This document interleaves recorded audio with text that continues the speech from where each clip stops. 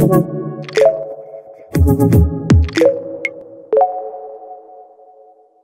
guys, welcome back to the new video on the channel here. This week we had on Bryce Hoppel, World Championship qualifier and uh, finalist in 2019 in Doha. He just came off of running 143 and placing second in his first ever Diamond League in Monaco. We caught him right off of the travel back from Monaco and we talked about his training during COVID, uh, what life's been like for him in Kansas, just trying to get back as a first year's professional, but yet going through a pandemic like everybody else is. So it was a really cool conversation a lot of interesting things to learn about Bryce, uh, his journey, and where he's headed next as he prepares for, for Tokyo 2021, like we all do. So, really cool video. Thanks for Bryce for coming on. Thank you. Really appreciate it. Thank you to all the guests who have come on prior to Bryce as well. I don't say that enough. I really appreciate your time. Make sure to hit that link below as we go live Monday, Tuesday, Thursdays, usually, give or take a day or two. Try to get in three streams a week. Do some giveaways over on the Twitch channel talk to some guests, play some Fall Guys, play some Warzone. We get all that in over there on the Twitch channel. Link is below. Also, make sure you hit the Discord link. We got a little community going there where we discuss things, bounce ideas off each other, talk about training. And it's a little more personal, a little more uh, individualized than what Instagram or a Twitter message to me would be. Really appreciate all the support so far. Enjoy the video. Have a great day. Thank you. All right, guys. Uh, tonight we have a special guest on a Wednesday, a little track talk Thursday on a Wednesday.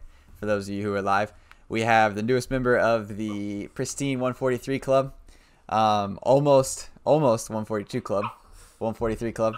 Um, fresh off his trip from Monaco, back uh, in his first Diamond League, first trip to Europe. Beamer, you can't. You're ruining the introduction, dude. Hey. You're ruining the introduction, dog. But no, sorry about that. So we have uh, Bryce Hoppel on, um, professional Adidas athlete in his first year pro. Um, what's going on, man? Welcome to the stream. Appreciate you joining us on a Wednesday. But I'll let yeah. you kind of go through your credentials, go through your highlights. Um, you had an illustrious college career at Kansas, and uh, kind of talk to us about that a little bit. Yeah, no. Uh, like you said, running for Adidas now, ran for Kansas, and this whole past year, sure, it's just been it's been crazy because it all kind of just came on at once.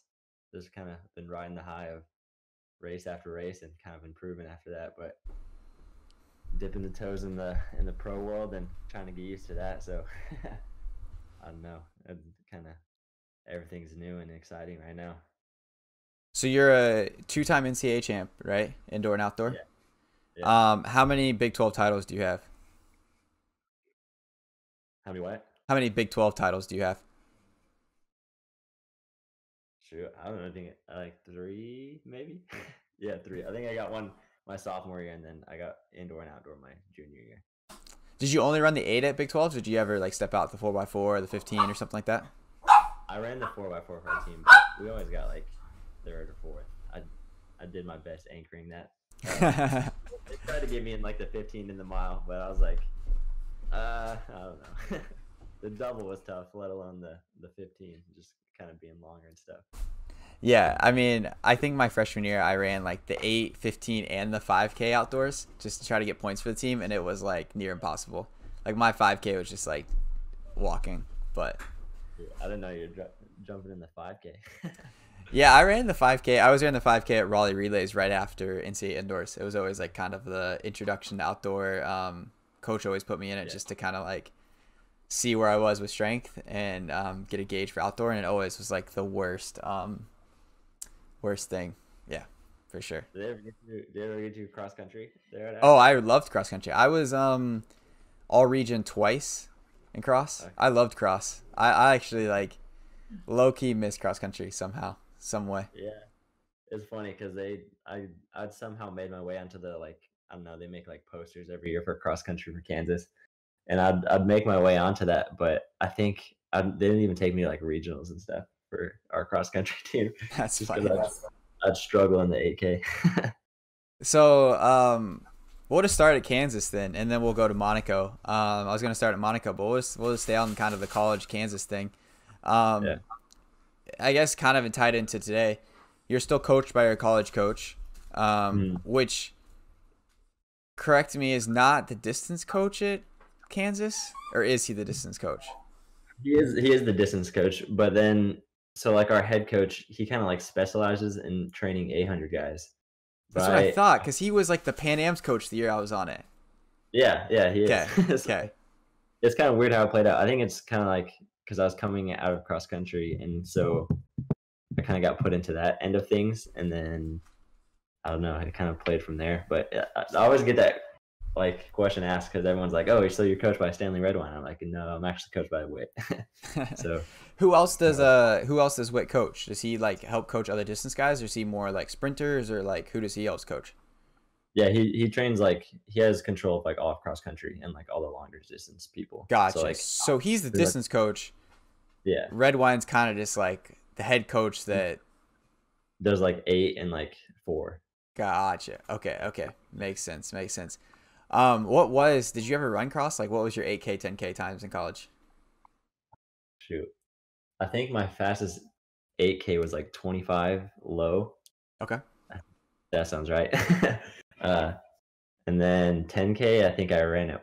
I ran the 10K once at regionals. They took me one year, but it was the year they like messed up at our re- like region meet, and they like messed up the distance. So I ran shorter than 10K.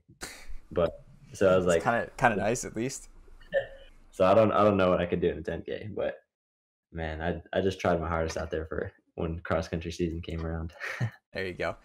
So what was your what's your kind of summary? What's your story going to Kansas? Why Kansas? Where else did you look? Kind of take us through maybe a, a summary of your um, recruiting process and kind of walk us through that a little bit maybe. Yeah, so it was it was kind of weird. I didn't really come on to like the faster times until like my senior year of uh my high school career, but it was kind of it was kind of tough. Like I I wanted to get in like Texas and like some of those other Texas schools, but none of them were showing like Because crazy you grew interest. up in you grew up in Midland, right? Or like in Texas, right? Yeah, yeah. So like, it would have been nice to like stay in Texas, but like none of them were really interested, and I, I guess I didn't really have any allegiance to any of those Texas schools either because my parents were both like from other states. Uh, but no, then I did well like the I don't know one of those like junior Olympic meets, and the Kansas coach was there, and I like kind of got the call from them, and then ended up like going for a visit and everything, and then I don't know something about Coach Witt and the team. I was just like, all right, this is a place that I belong, and kind of just went from there. I think that's like crucial because last night I had on, um, I had a guest on last night who threw at Oregon while Ari, was there, and now he coaches at Division three school. So we're kind of talking about the difference between Division one, Division three, but we kind of Mhm. focused a lot on just the recruiting process in general now and how one it's changed since we were recruited, um, just in Yeah. like four years the difference of it, and two like how you really have to find a school that like you have that click with and it has to be like outside of like the actual performance part of it because like if you think only of like the coach's credentials or the philosophy or like the training part of it you don't think about the academics or whether you're happy there or whether you feel comfortable there or whether you, that's it like how you said like that staying of like that's it that's how i felt at akron like you're never Yeah. going to be successful on the track no matter what you do you know Yeah, I definitely like wasn't even really that knowledgeable of like what track programs were like historic and stuff, like who were the current good teams and stuff. So I was kind of just going into it blind and then kind of feeling out wherever I liked. What was your so what was your um you got recruited um you committed before your senior season or during your season senior season? so I did it like the first possible date, like whenever you're eligible to commit. So I think it's sometime my junior maybe. Like, so what was your junior earliest I could- times? Like what did you get recruited off or what were you getting recruited off of your junior year? It's like 153, I think I was doing most of my recruiting off of, and that's like the time I committed at and stuff. Gotcha. and then I didn't run like 149 until like the very last my like state championship my senior year. so Kansas theoretically got a bargain off of you. I didn't know you had 149 in high school Yeah, no, pretty much. because every Big 12 school would have been like hopping on you at 149. They Yeah, would have no, not, I- they would not let you go for sure. yeah, that's the thing because like I'm like hour and a half from Texas Tech, so that was like kind of one of the schools that was pressing for me. But I wanted to get kind of further away from further away from home. I felt 100% agree with you on that one. 100% agree with you. I was like four hours from home, so it was like perfect. It was like perfect distance. Where it was like, I wasn't too too far. Like you're like, you're pretty far. Like Kansas, Texas, like you're pretty far. But like four hours for me was like, the limit of like the closest I would go to home. Like Ohio State was kind of recruiting me, and I'm like, nah, like this hour and a half, that's way too close. Yeah, like Texas Tech was basically like a second high school for me because like all my like everyone was going there, so it would have been like same groups, not really branching out to new people or anything. So yeah, I see what you're saying. So, what was your biggest adjustment in training wise going from high school to college? Like, what was your high school training like compared to college, and what was something that you like took as an adjustment, or what's something you learned in that adjustment period that you can maybe pass along to some people? I think definitely like consistency in training. Uh, yep. In high school, I feel like I was kind of just like, I mean, we had we had a really good coach, uh, and he was like kind of like getting me into running, but like I just had no clue what I was doing, and so I just kind of like followed along with that. And I think the biggest change was like me actually trying to learn from the sport and like learning from my fellow like collegiate runners and stuff, and like my coach. And I think really kind of like doing that helped me, I guess, a lot. Because like before, I don't know, I was just like following along with what I was told, I guess. But and then no, I agree. I like, like it's an adjustment, like physically and mentally and the yeah. intensity wise. But I 100% agree with you. I think too to this day, like I always draw myself back to like consistency over like trying to like get like high peaks out of training, if that makes sense. Like I would rather yeah. like theoretically like take a workout back a couple notches and get through it 100% healthy and come off of it ready to go for the next one than like kill myself in a workout and then not be able yeah. to do a workout for like a week so that's one of the funny things is my coach like he used to joke early on with me being at Kansas because because like I sucked at doing workouts. Like I could barely make it through any of those stuff, and like all my like teammates, like I mean, they'd be like dragging me in the workouts, but then I somehow just like pulled off a race as well. So I never, I never understood that part. But oh man, workouts definitely kicked my butt. What's your um? So I have a question. So a lot of people ask about like if you ever have like a big break or injuries, like you had a pretty like consistent college career, especially towards the end of it, um, where you're yeah. running a lot of races. Did you ever have a time where you were injured or took a long break? Like, what was that adjustment period to come back from like a long break for whatever reason you took the break for? What was kind of your your process mentally and physically to come back from a break like that? Yeah, I think one of the things that was like kind of scary was it was my freshman year, uh, and it was like just going into the like into the track season, I was like, my knee was getting pretty messed up from, I guess it's like, we don't have a great indoor track at Kansas. So the turns are pretty tight and it's flat. So I was like, my knee was killing me. And I think I was out for like three weeks, just like right at the beginning of track season. I was like, oh man, like I'm not to be able to get to run. And like, that was pretty scary, but I just kind of like stayed with it. And I had like, I think I ran like a PR after like I came back from the recovery from that. So it was like kind of weird like how quickly it turned around. But then I don't know, coming from that injury, like thinking like, oh man, I'm about to miss the track season and then kind of doing well after I just like right get back was kind of what got me excited and like a weird introduction to college track and field, I guess. so during those three weeks, did you have days where you maybe like really down on yourself or like getting kind of negative about it or thinking like super like oh, I'm not gonna be able to come back from this or like this is like then what I signed up for like yeah. and if you did like how did you get through those kind of like negative days I think the big thing was like I was back home because I went back home for the Christmas break I was like I remember thinking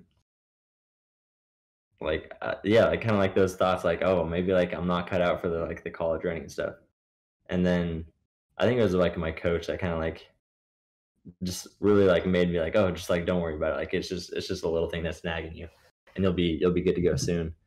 Uh, but I think that really like helped from my coach, and like just try, like sticking with it, and like just injuries like aren't the end of the world. You just kind of gotta get through it, and then you'll be good. But I think that's I, definitely.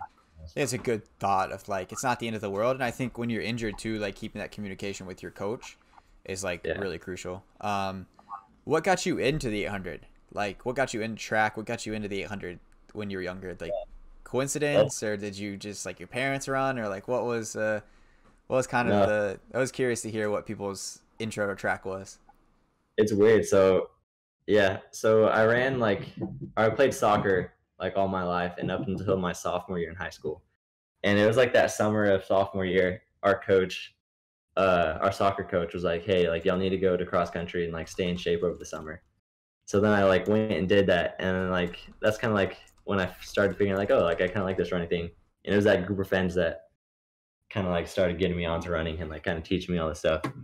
And then so that also that summer, I was like, I went to go run like the USATF stuff with them, and uh, I think I was doing like the, well, I ran like one meet my freshman and sophomore year each year in track, and I was like a 400 runner at the time. And then cross country kind of got me more into like the longer distance stuff, and uh, so I, I went for like the 1500 at that that summer like it's like the olympic junior olympic thing again. Yeah did you the yeah. yeah i ended up making it to like the final in the 1500 and i was like oh shoot like what? Like that's kind of like when i was like track thing is like maybe i'll like consider it. So then that next year i like transitioned to like all right i'm gonna just run like track instead of soccer my junior year and it was my high school coach. He's like, "Hey, like you're a 400 runner. You did well in the 15." And then the eight was like just right there in the middle. Right in the middle. So like, hey, yeah. like we'll be good with this. And then yeah, ended up being pretty good. so you didn't run? Did you? I mean, did you do both then, soccer and cross, or did you not do cross in yeah. high school? Uh, I did. I started cross my sophomore year. Or is cross and... is cross a fall sport in Texas, or uh, soccer a fall sport in Texas, right? So you're yeah, both in the so same season. Yeah, you basically only get to run like the district meet if you play soccer. So like takes up all of track season. So I only ran like one meet my freshman and sophomore year. Gotcha. Maybe like two my sophomore year. Okay. But it's kind of like an either or thing. Yeah, I did. Uh, I started in soccer. Like that was what like if you go back to all those like elementary like what do you want to do? Like it was all like Division One soccer player, Division One soccer player. But like our soccer program was like god awful, like horrible. like and I mean like my running program wasn't much better anyway. I had seven guys in my cross country team, but the soccer program was like really bad. So I had to kind of uh, I knew I wasn't gonna like make it to college at any yeah. level in soccer just because like my school was never gonna get a single single recruit looking or a single recruiter looking at that at all. Yeah. No, it's it's weird because like pretty much like all my friends in high school, like a lot of them went off to play like college and soccer, and I'm not kind of like a last minute switch to track and then. Eh, I mean, it's it's paying off pretty well. I mean, yeah. world qualifier, which eh, in your credentials you left out world world finalist last year um, in Doha, oh, yeah. and second in your first Diamond League. I mean, you left out two pretty big credentials, but yeah, so. Okay. Got a couple questions from chat about the training before we kind of move on to maybe some off the track stuff and talk about Monaco a little bit. Um, yeah. What was your favorite workout, or what is your favorite workout? Man, there's this one workout that we do. I don't know if I, I wouldn't say it's my favorite, but it's it's the one that's been working. Uh, I just like, thought we were talking about that on the workout yesterday.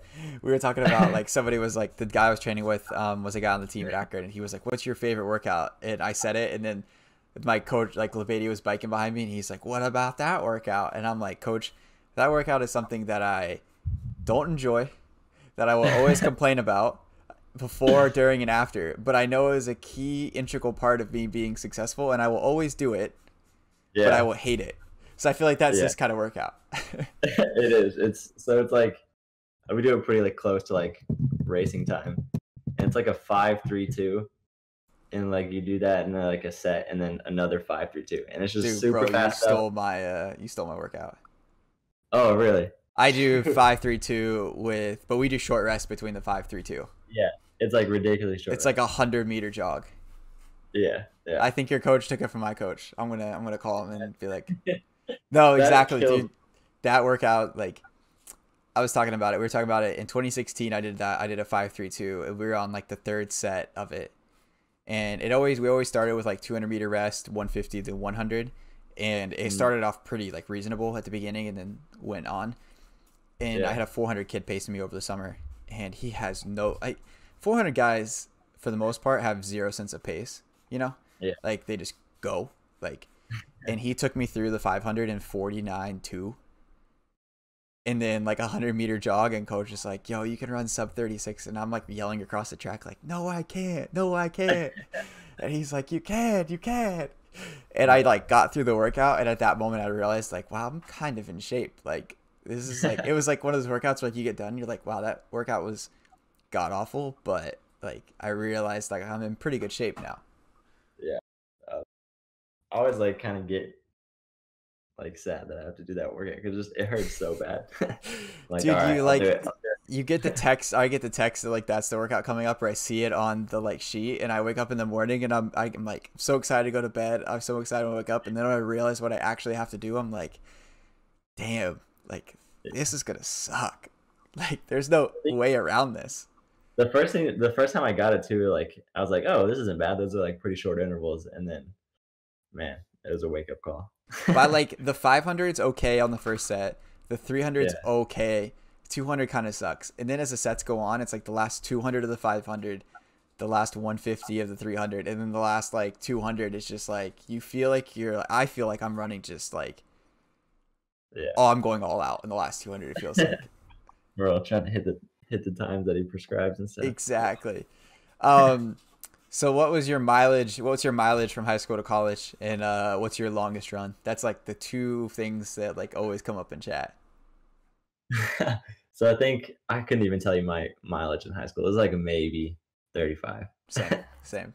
like I, I, that's a guess. I, I say I, thirty. I say thirty to thirty-five, but it easily could have been like fifteen for all I know. for all, and I think through college, like I was, I was supposed to be. So I still haven't like had this conversation with my coach. I'm supposed to be like 50, 55, but I think realistically, I hit in like the 45 range. Okay. So do you do a do you do a longer run on Sunday or Saturday? Yeah, so like I do like 10 miles Sunday. That's gotcha. like that. Uh, but my longest run ever. So one time I forget what it was. I was like upset after a race or something, so I ran on my long run. I ran 14 miles so I've never run 12 miles like in a single run, but I ran 14 one time. that's that's my longest run. I'm that works. Frustrated about something. So, uh, leading up to Monaco, um, I think there was a lot of people, and even like I saw it, and I saw a couple people say it after, and I kind of chuckled about it. I was mm-hmm. wondering how well you would do because you haven't raced 110 times prior to that. Yeah. So what was your going into Monaco? How did you did you change anything going into it, knowing it was kind of like your first one off race, or did you just kind of go into it excited? Training's been going well. Kind of take us through the last like I guess four or five months of what's what how your training's been, and then and, and leading right up to Monaco, what kind of your thought processes was going into it. Yeah, so like early on in the year, I was like hitting the training, just like all right, it's gonna be another season. Hopefully, it's still kind of like early on, like we didn't really know what's going on with the virus and stuff. So like all right, I'm training, I'm I'm hitting it hard, like I'm just gonna plan like there's gonna be a normal season. And then it like got worse and worse and I was like starting to lose motivation, so the workouts like weren't going as well and stuff. So I was just like trying to stay on top of it. But like it eventually got to the point of like, oh man, like I don't think we're gonna run this year. So I kind of like started letting off a little bit, and uh, so I kind of like took a little break. And I, I don't think I really told anyone yet, but like I got sick for a little bit, so I had to like take off, and that was like I took off like a week and a half. Um, that was like early July. So like I was like not on top of the training right there, and then I had to like all of a sudden like, hey, like you're gonna be in Monaco in a month. So then me and my coach like, all right, we need to start booking it, like start getting ready for this. so uh, we like I had to like jump on top of that. I feel like my whole mindset like for that was like I, I need to get in shape as fast as possible or not in shape but like get race sharp as fast as possible. So like i feel like i was like on crunch time because yeah like i didn't have that races to like feel like i was ready or like anything prior to feel like i was ready. So i feel like i was just like trying to sharpen up and then even like before the race and stuff um i was like kind of doing more speed than i would normally do like the day before the race just because like I need to get ready for this. like my legs aren't going to be ready or something. Uh, but no, like before I traveled, I was like telling some of my friends here, I was like, yo, like I have no clue what I'm gonna do in this race.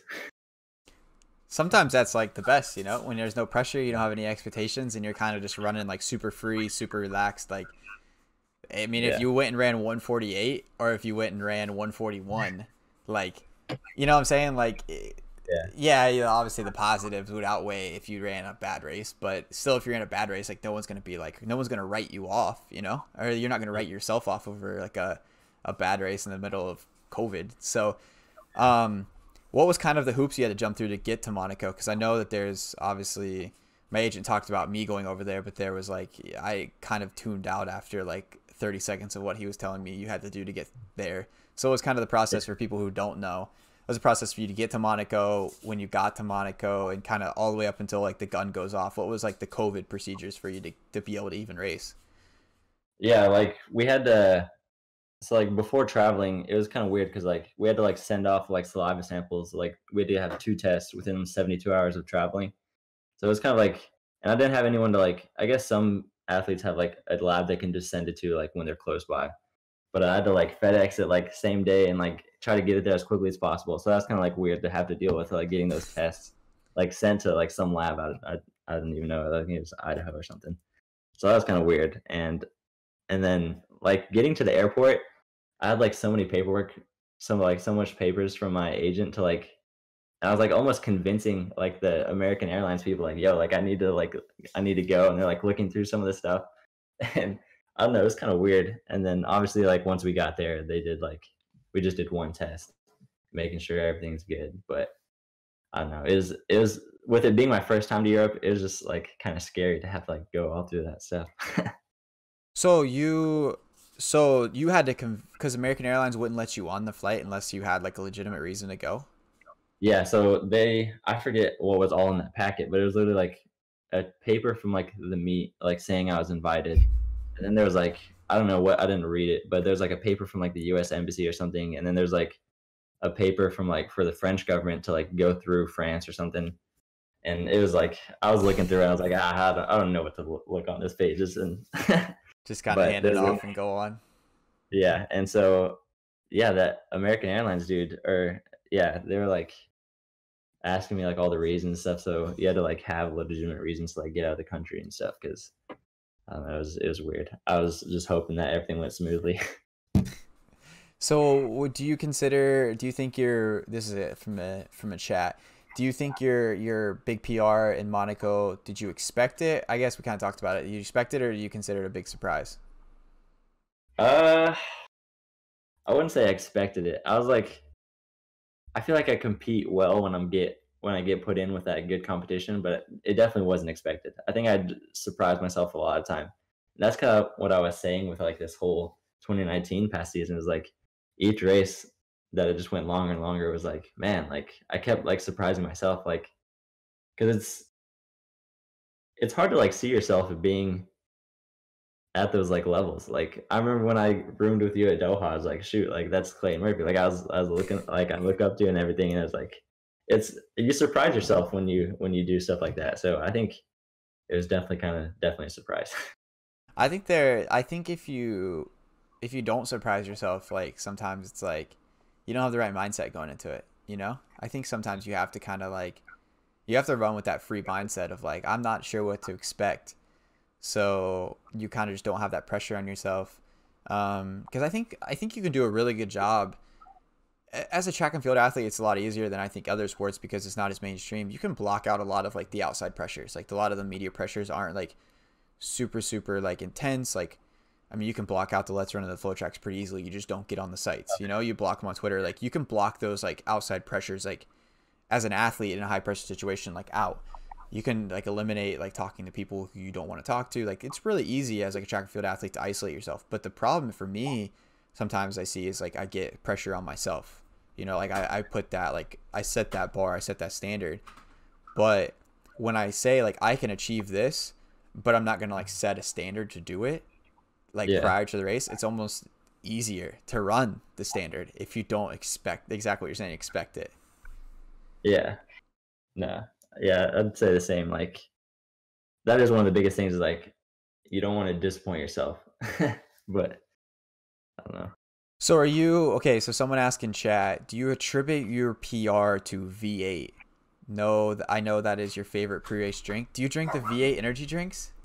Oh, I think I know who said that. I think it was my roommate. Uh, so Do you drink them? Because that's like really funny. Because that's what we used to drink in college. Like we used to like that was like the Bible drink to us. I, I don't drink it. So it was my freshman year in my like freshman dorm with my roommates, and uh, we had like some V8s in the in the pantry, and I was like, "Yo, like I've never drank one of those." And they're like, "What? Like have you never had one before?" And I'm not a big like vegetable guy or anything. So when I tried it, I about threw up when I oh that was the, probably one of the worst things I've ever tasted. Dude, we used to drink the V8 energy drinks. It's like it's all it's like juice. It's like V8 juice, like fruit juice. Like it's not like vegetables. But we were oh, like, okay. we it was like biblical to us to like we used to fly with this. Like we used to like we used to buy a case of it and put it in like Ziploc baggies and like wrap it up and like put it in our in our bags to like get it to meets, so we didn't have to buy it when we got to meets. Like it was yeah. like that's funny. That's what I thought. no, so you've done Monaco. You're back in you're back in Kansas or wherever you are in the U.S. Um, what's next for you? Are you are you in an off season? Are you gonna race again? Are you gonna run a 5K cross country? Like what what's the next couple weeks and months look like as the 2020 season kind of wraps up? Uh, yeah. So I think I'm gonna get in like hopefully one or two more races. I think they're both gonna be back over in Europe. I think we're waiting to hear like what's going on with Drake. They might be trying to put on a pretty good. Uh, but no, I feel like after after having that race, I was like, I want to try to go faster. but uh, that was kind of weird because like normally you have like the pinnacle race, like the U.S. Championships or something to to end your season with. So it's kind of weird. I don't really know to know when you're done. um, what? One last question about Monaco, unless chat has anything more. What was like the new surface at Monaco like? What's it race like? The race at Monaco and the track, the surface, the the facilities. Like obviously, like historically wise, like it's one of the fastest ever. Um, yeah. And I've unfortunately never had my training and timing line up to be able to race there. Um, uh, I was supposed to run a 15 there, and it like didn't like happen last year. But what's kind of like what what's it like for people who don't haven't been there? Me, yeah, um, and chat like obviously they they haven't been there, but they've seen all the times. They've seen the historic races, the the Kiprops, the Moes, the everything. Cheptegei 5K world record now, like all of these things. Like what what's Monaco like? Yeah, so I think uh, you're saying like the surface thing. Like obviously, it's like a new track. It's nice and bouncy, but I, I feel like those don't like make huge of a huge of a difference. I think it's more like an atmosphere thing. Like the atmosphere atmosphere there is like it's incredible. Like that whole Diamond League thing and just everything is so exciting to get in. And I think just kind of like the buzz of the crowd and like all the athletes out of there and everything is kind of like that that that's like what gets me going at least. Uh, but Monaco is like a beautiful place, and it was just cool being there just in general. So I think all that excitement and like kind of like all the hype around the meet is what brings those fast times rather than like more physical things like the the tra- new track and stuff. But yeah, it makes sense. Know, be me. makes sense. No, no, it's it's also kind of like you've been in like everybody's been in like quarantine for for yeah. for lack of better terms and then you go to a facility like that where it's like somewhat normal you know? Like it's kind of like an extra boost of excitement 100% see what you're saying. Especially like eh, i couldn't imagine like europe without being normal. Like europe in a normal race is probably i would say like i watched some of the monaco race races like that facility would have been obviously packed and have been even more bonkers. Like I couldn't imagine yeah. like you're you're gonna be blown away like in your first year of race when it's like back to normal and it's like just beer going everywhere, betting going everywhere, like like life's good at a European track meet.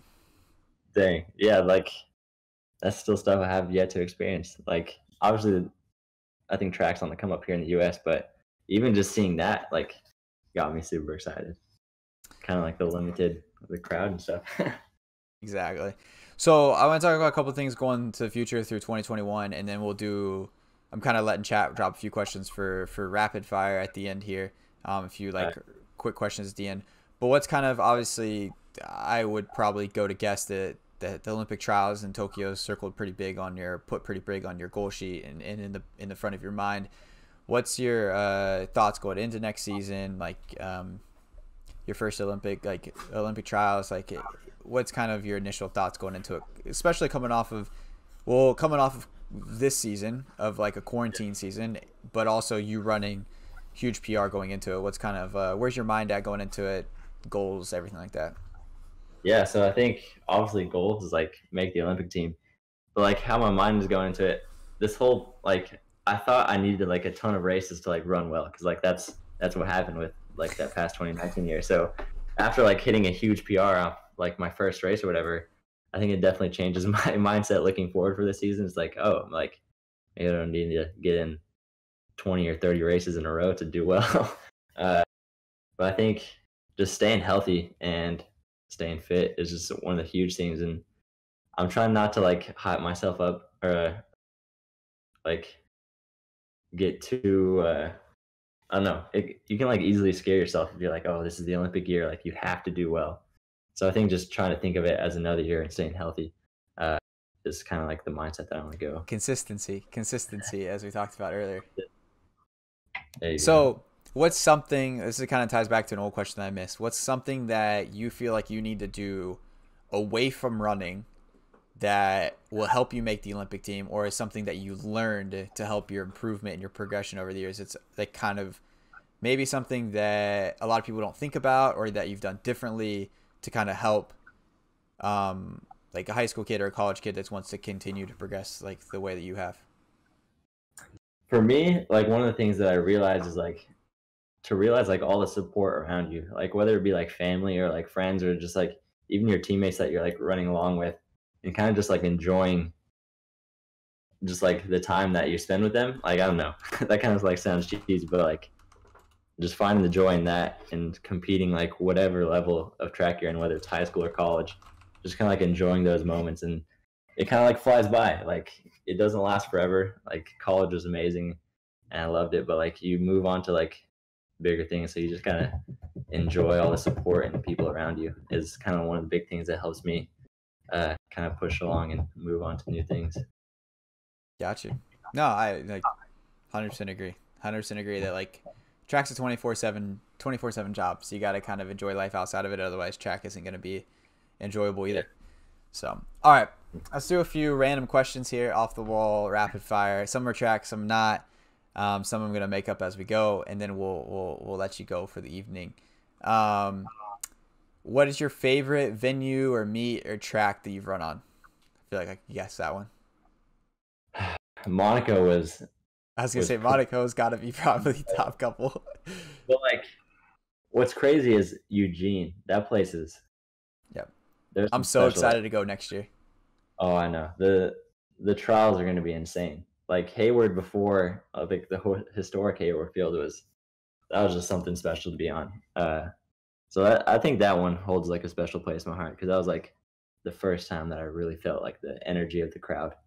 So I don't know. I think that might be one of my favorite venues. What uh, did you pay attention to the pacing lights at all at Monaco? I didn't know those were a thing. No one told me that was a thing. So, I, did you did you know do you know anything about him? Then did they even talk to you about him? Oh, I saw. Well, I realized it later when they had it for like uh, the world record, the 5K. Uh, I don't know if they had it for your guys' race because I actually missed your guys' and watched the replay right after it happened. Um, yeah, but I've seen him at like I saw him like last year, like Hengelo and stuff like that, where it's like it's like on pace and stuff like that. But chat was like we were discussing it last night. And I think it's cool, especially because like on TV, like it, it gives you a really good perspective. But like on the track, it really doesn't. Yeah, Maybe like, the pacer is paying attention to it, but like I feel like that's so much to look at and like look down at and yeah. try to find where you're at comparative to it while you're racing. Like I don't think that really would play that much of a factor. Yeah, one of the funny things was was like I remember in that race I like locked on to Brazier because I was like playing just like all right, just stick on him, and then I don't really really remember anything else about that race. exactly, like, super simple. I just remember right. looking at him and I was like, all right. All right, are you a run gum guy? Run gum? No, I've, I've never tried it. Okay. I, I thought about it, but no, I've never tried it before. What's your uh, favorite pre-race meal? Favorite pre-race meal? I think just the simple uh, spaghetti and meatballs. That's like the go-to. Not a bad one. Uh, who's on your pre-race playlist? Pre-race, I feel like it's a lot of Kodak and Young Thug and sometimes if I'm feeling like a more calm mood, I like go to like the oldies, like Elton John and stuff. But that's like the. So someone asked, uh, we'll do a B question to that. Young Thug, Gunna, or Lil Baby? Young Thug for sure. uh, how big are your feet? Someone wants to know. How big? Uh, uh wear size 11. All right, same old size feet. Favorite Kanye album? Uh, shoot, I think Life of Pablo. Hey, that's not a bad one. Not a bad one. Not a bad one. Um, let's see here. I got probably. What's your favorite car? Like, what would you your dream car. car. Your dream car, I guess. Oh, dream car, definitely like the for the 458 Italia, the Ferrari. That's like Okay. that car is just beautiful. Okay. It's not like big and mean, but it's just like finesse. And uh, what's car. your favorite sport now? Soccer, obviously, growing up, but what what about now? What's your kind of your favorite sport outside track and field? Uh, I've been big into NFL, like just like fantasy and like being here. In, yo, Kansas when Kansas City won the Super Bowl, everything was crazy here. Like we stormed the streets and everything. So NFL is definitely big, uh, big on the list. So, who's your team uh, or your players, or like what's kind of your who who do you follow the most? I think I follow Kansas City the most now, just because like it's in the area and like I don't know, that's what everyone's going for. Uh, but I think Cowboys is just kind of like who I was more more focused on growing up and stuff. So you never you never got into baseball. You don't follow baseball. Isn't that kind of in your in your in your family? Baseball. yeah, it is. So like, I don't want to say I got like burnt out on it. I loved being like at the baseball field. Just I don't know. That's like my childhood is what it felt like. It's like growing up around that baseball field and stuff. But I don't know. I never got big into like following any of the MLB teams. Who's Uh, your um who's your who's like the coolest person you met growing up? Did you meet anybody cool? Like being down in the Oh, field yeah. or being in the clubhouse? I've met a few. Uh, there's been some big players, but like, I don't know. I've been to like, there's like this thing that my dad goes to. It's like the winter meetings and stuff, and there'll be like some big names there. Like I've met Nolan Ryan and like Roger Clemens. Uh, I forget. Like it's there's quite a few like big MLB players that I've met. Uh, but then there's like I think there's a local Midlander that played for the New York Yankees. Uh, Randy Velarde. And I don't know. I've met quite a few big baseball players. Those are the ones I can name off the top of the head real quick, though. Not bad, not bad. All right, last question, and then I'll let you go. If you could race anyone in their prime, and you be in their prime, mano y mano,